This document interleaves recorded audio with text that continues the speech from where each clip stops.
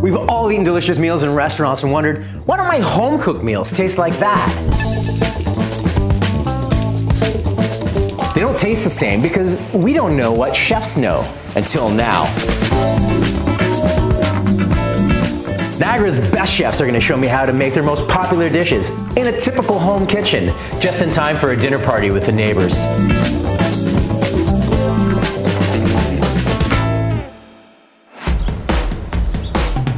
My name is Ross Midgley, and I'm the chef here at uh, Ravine Vineyard in Niagara. So many people talk about a farm to table restaurant, and uh, we're actually a restaurant on a farm, which gives it a unique kind of closeness, I think. This farm at Ravine has been in the same uh, family ownership for more than 150 years, and what sets us apart food-wise is that uh, we try and respect the, the farm and our growing. We do have a one-acre organic garden which produces a, more than 6,000 pounds a year of, uh, of produce that gets its way onto the plates. So we've got another plate of six oysters, and then we're gonna go two burgers, uh, both fries, a short rib, and a pork chop, please. We really try and do very little fiddling in terms of the cuisine and let the ingredients speak for themselves. This whole place has got food written all over it. It's amazing.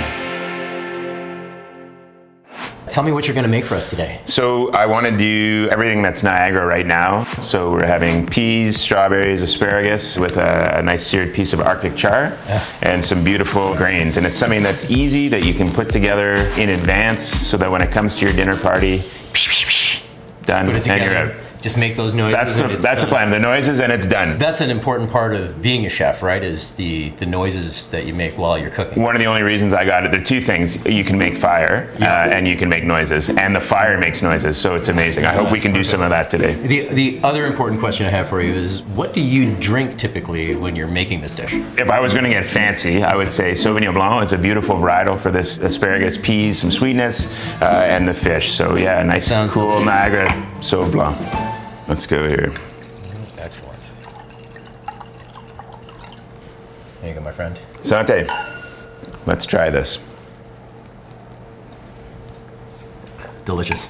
The first thing we're going to start with is a little uh, pea puree with tarragon. I'm going to get you to help me out here a little bit. We're going to take some uh, frozen peas. I've let them thaw. Okay. We're going to fill up about a cup's worth. You said frozen peas. Now, why would you use frozen peas over fresh peas? So many frozen products have been picked and processed at their optimum. I mean, right. these are delicious Canadian peas, so it's really as good as you as can getting get. them fresh, and as you good don't as have you can to get. handle them quite as much. I imagine. Absolutely. Right?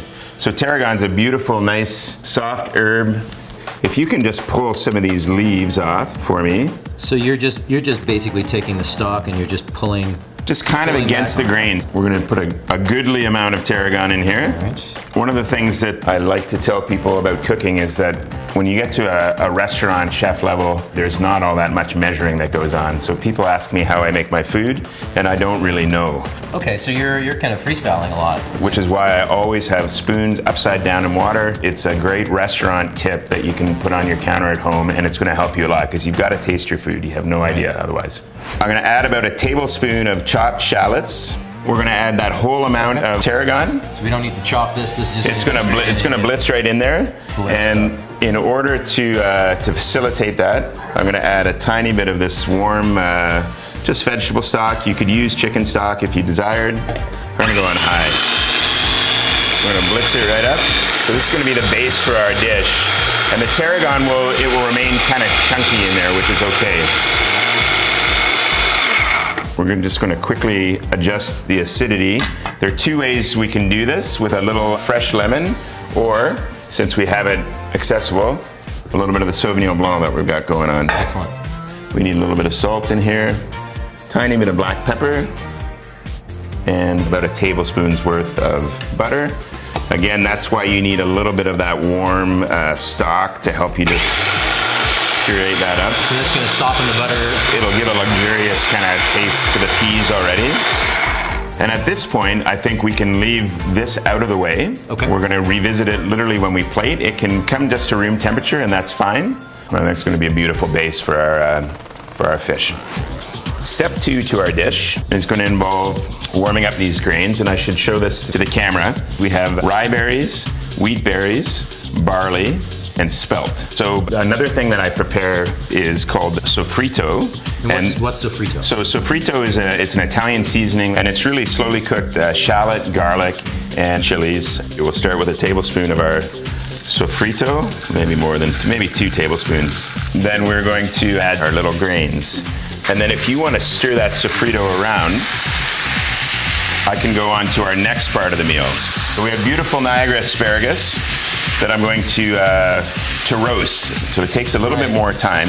But in a dinner party application, this is also your friend because we're going to put it in the oven um, and not take it out until we need it. Okay, so it's basically at the ready.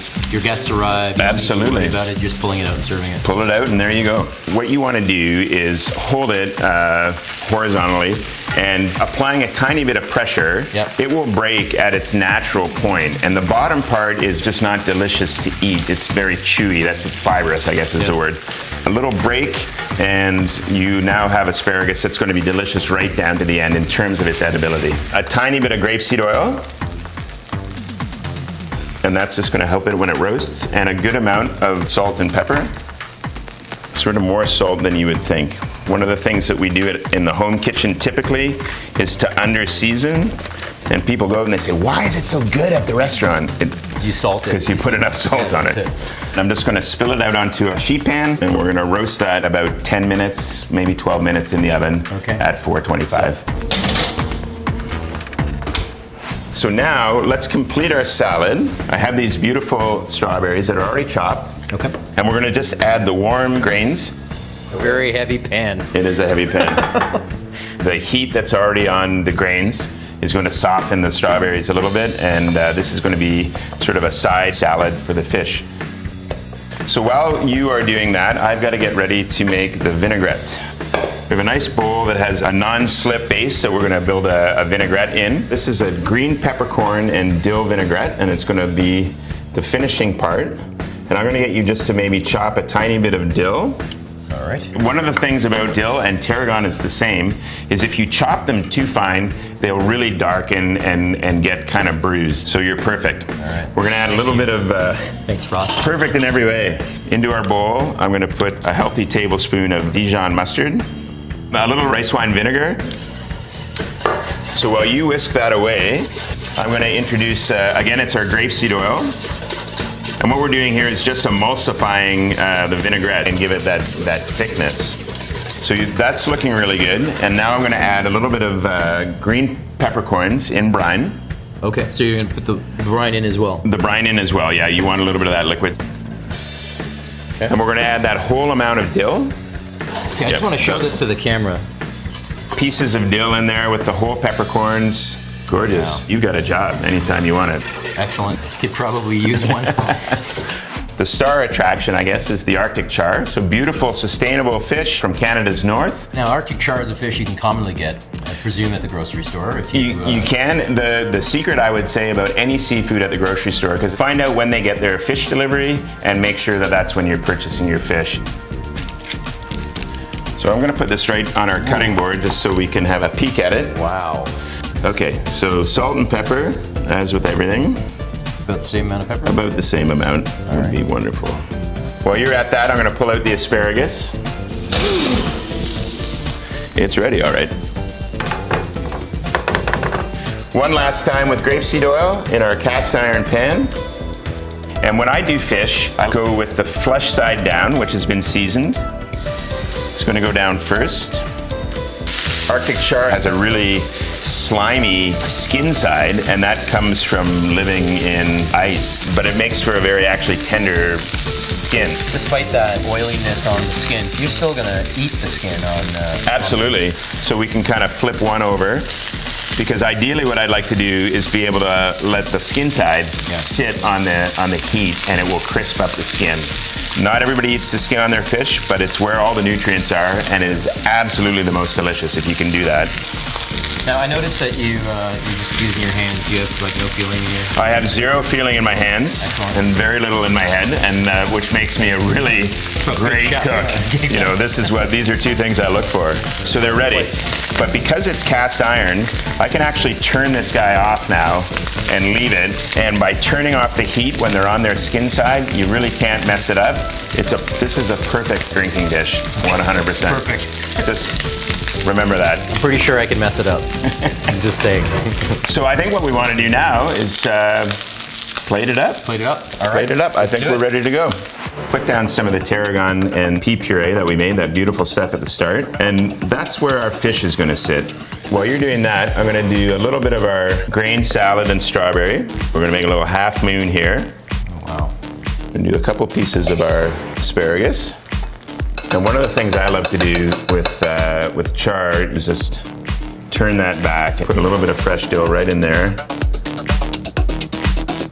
Prop it up out like I'm ça, beautiful. Wow. So this is our green peppercorn and dill vinaigrette.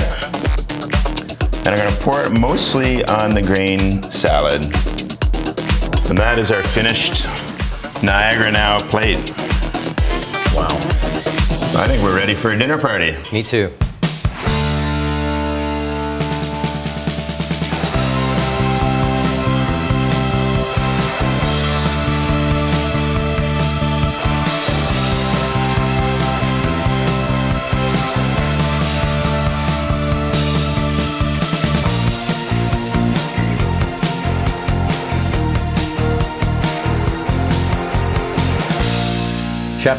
Thank you so much for this great meal. Really Pleasure. appreciate it. Cheers, guys. Thank you. Thanks for coming. Thank you. Cheers. Cheers.